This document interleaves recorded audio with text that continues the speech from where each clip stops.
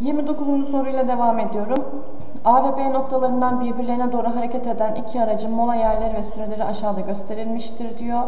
Ee, A'dan çıkan aracın hızı 120 km bölü saat, B'den çıkan aracın hızı 100 km bölü saat. Aynı anda harekete başlayan bu iki araç A, B yolunun tam orta noktasında karşılaşmakta. A ile B noktaları arası 720 km olduğuna göre T kaçtır demiş.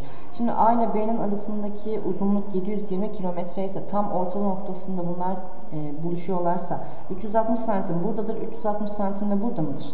Benim bir formülüm var yol eşittir hız çarpı zaman. Dolayısıyla A arabası için, A aracı için bakalım. Yol eşittir hız çarpı zamandan ben buradaki zamanı bulabilir miyim acaba? Bulabilirim. Yola bakıyorum 360 santim. Hızına bakıyorum 120 santim. 360 bölü 120'den şuradaki t'yi bulabilmek için 120 şurası. 360 bölü 120'den kim A aracının e, 3 saatte diyebiliyorum. Evet. B'den çıkan aracın hızı da 100 km bölü saat olduğuna göre o zaman ne yapacağım? Yine aynı şekilde 360 bölü 100'den 3,6 saat buradan gelmiştir diyebilirim. Aynı anda harekete başlayan bu iki araç A, B yolunun tam orta noktasında karşılaşacak. O zaman buradaki yollar dediğim gibi birbirlerine eşit. 3 saat bu gelsin. T demiyorum. Çünkü T'yi burada kendisi vermiş zaten.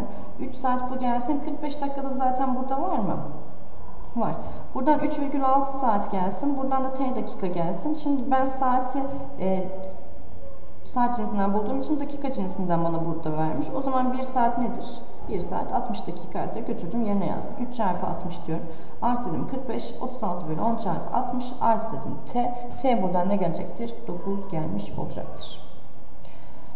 Geldim 10. soruya. Aşağıda bir bahçeye dikilen fidan gösterilmiştir diyor. Fidanın boyunun çitin yüksekliğine oranı şekil 1 ve şekil 2'de sırasıyla 2 bölü 3 ve 3 bölü 2'dir demiş. Şekil 1 ile şekil 2'de fidanın boy uzunlukları farkı 120 santimdir. Buna göre çitin yüksekliği kaç santimetre diye bana sormuş. Şimdi bakıyorum. Burada e, şekil 1'deki ve şekil 2'deki sırasıyla 2 bölü 3 ve 3 bölü 2 ise o zaman oranlarına bakalım. Şuradaki fidanın boyuna B diyoruz. Buradaki çitin uzunluğuna A diyorum. E, buradan ne gelecektir? B bölü A oranı 2 bölü 3 kendisi verdi zaten. Sonrasından buradaki fidan büyüdü. O zaman B'nin üstüne Y kadar büyürse B artı Y mi olacaktır uzunluğu? Evet. Çitin uzunluğunda değişen bir şey yok. B artı Y bölü A oldu. O da kim olacak? 3 bölü 2. Kendisi veriyor zaten bu oranları. Devam ettiriyorum. İçler çarpımı yaptım. 3b eşittir 2a oldu. Buradan da 2b artı 2y eşittir 3a oldu. Buradan a dediğim ifadeyi bana soracak zaten. Çitin yüksekliği kaç santim dediği için. b eşittir buradan 2a bölü 3'tür.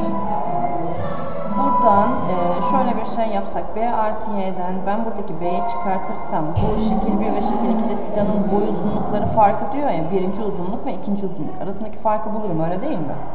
Şimdi o zaman B artı Y eksi B diyorum. Buradan da ne gelecektir? 120 santim gelecektir. Y buradan ne geldi? Şuradaki B'ler gitti. 120 santim geldi. Şimdi demek 120 santim bu fidan uzamış. Devam ediyorum. Buradaki B yerine de 2A bölü 3 yazarsam şurada ve Y yerine de 120 santim yazarsam 2 çarpı 2A bölü 3 artı dedim 2 çarpı 120 eşittir diyorum. 3A A buradan ne geldi? 144 geldi. Yani çitin yüksekliği kaç santimmiş? 144 santim gelmiş olduğu cevabımız Bursa. Bu kadar.